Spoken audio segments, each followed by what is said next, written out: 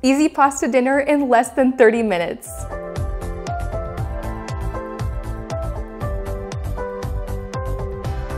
Hey everyone, I'm Dina from simplyhomecooked.com and today I'm going to show you how to make lobster ravioli with the most incredible sauce.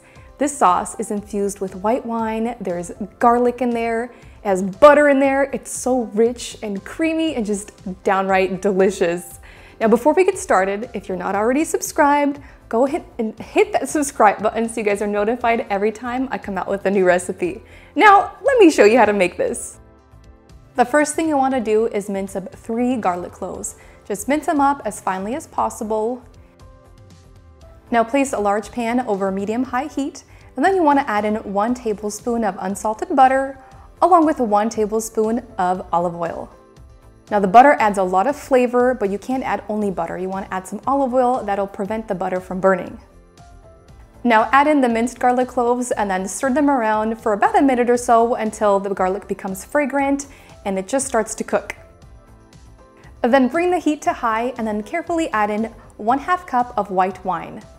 Now you want to stir it around for a few minutes just until that wine begins to cook out. Now if you prefer not to use white wine, you can always substitute it with chicken broth and you would just literally use the same amount of chicken broth, so half a cup of chicken broth. Now to make this sauce extra creamy and delicious, you want to add one and a half cups of heavy whipping cream. Then add an eighth of a teaspoon of pepper, along with half a teaspoon of salt. Now drop the heat to medium-high, you don't want it too high, and once that sauce begins to come to like a bubbly simmer, turn the heat off completely, and that's when you can add in a third cup of grated Parmesan cheese. The reason why you want the heat off is when you add Parmesan cheese to like something really hot, it will curdle it and that's gonna make it like gritty and grainy, it's just not gonna be good. We're going for a smooth, creamy sauce here. Once the cheese is fully mixed into the sauce and it's fully melted, that's when you can add one cup of fresh baby spinach. And then just stir that around for a few minutes. You don't even need to turn the heat on. That sauce will be so hot that it will wilt the spinach perfectly. So don't worry if the heat is not turned on. Now that the sauce is done, we can focus on the ravioli.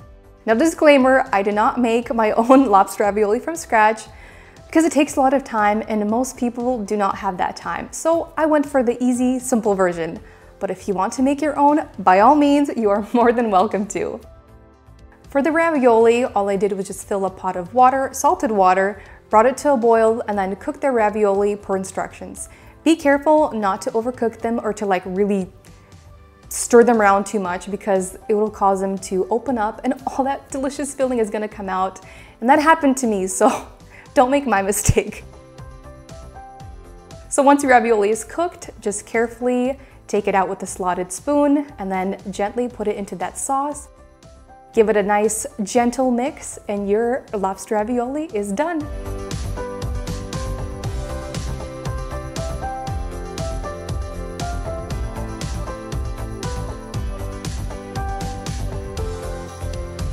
And there you have it guys, look how incredibly easy this is to make.